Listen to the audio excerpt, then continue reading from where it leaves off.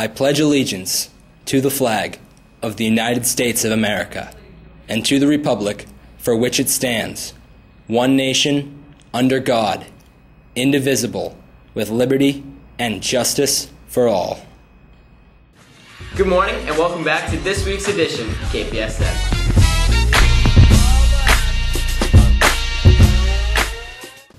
Last Friday, our Warrior athletes featured a victorious doubleheader at home, starting with our girls soccer team, who hosted Milford.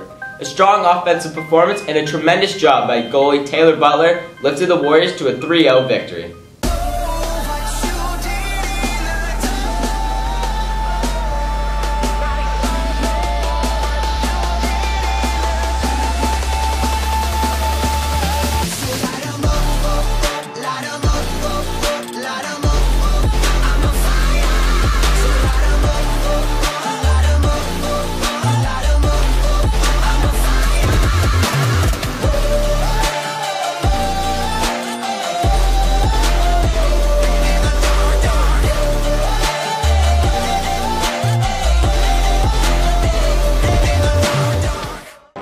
After watching the longest streak in the state finally snap, our Warrior football team got back on track against Foxborough last week to the tune of a 17-0 victory.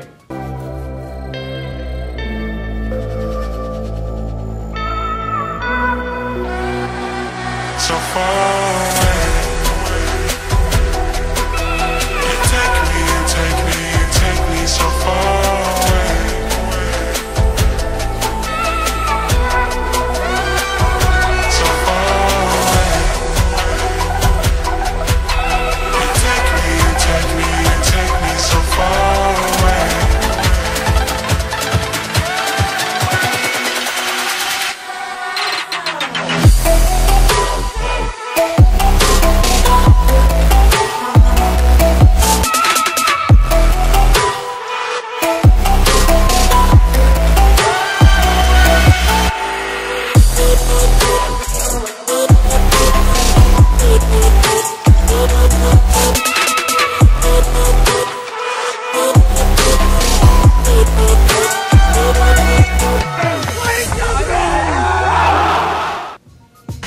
not just any win for the team.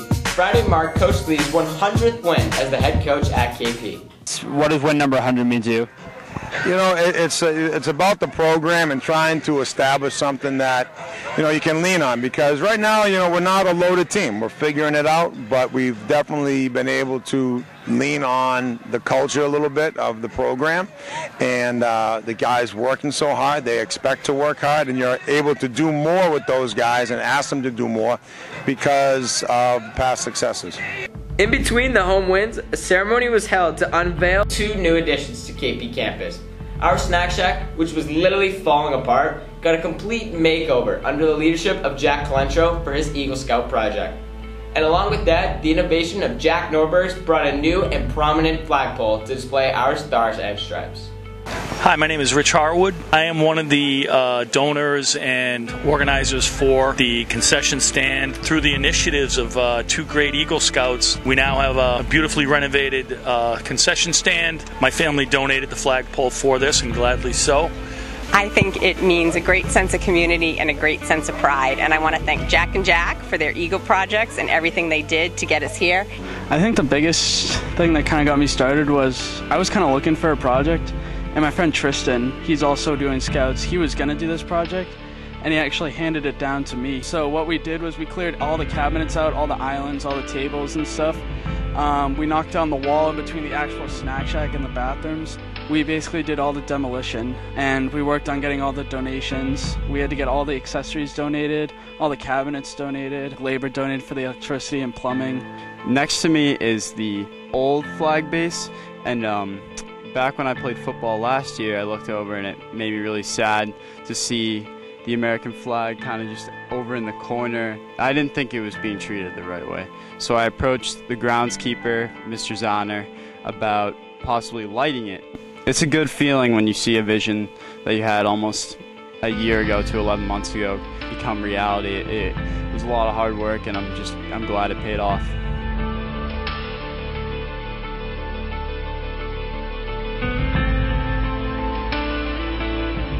Congratulations to the boys for a job well done, and thank you for your lasting contributions to the community.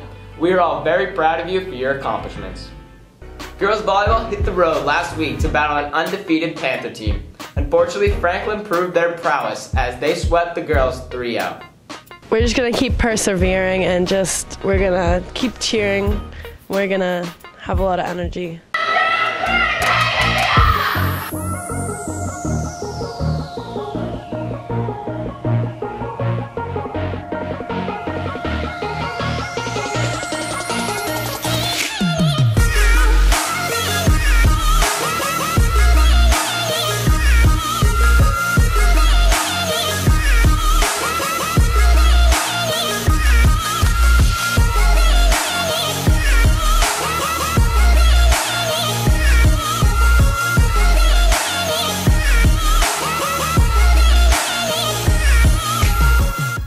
Tonight we play Canton and they're supposed to be good, but we're pretty good too, so I think we're gonna come out on top. Even though it's still early in the season, we already have some standout fall athletes.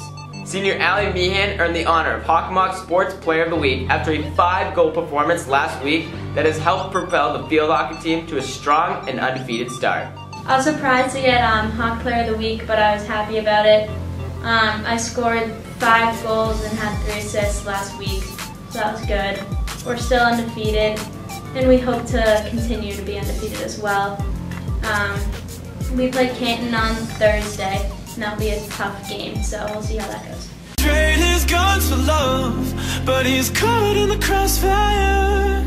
And he keeps waking up, but it's not to the sound of birds.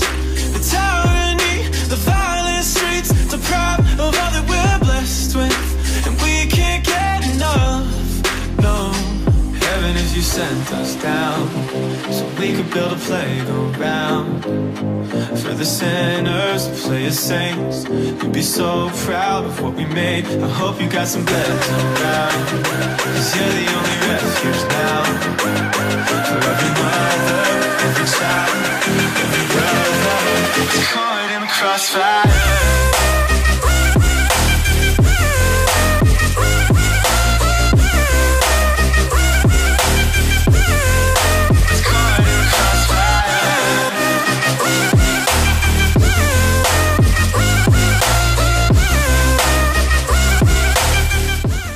all we have for this broadcast. Get out and support your Warrior athletes.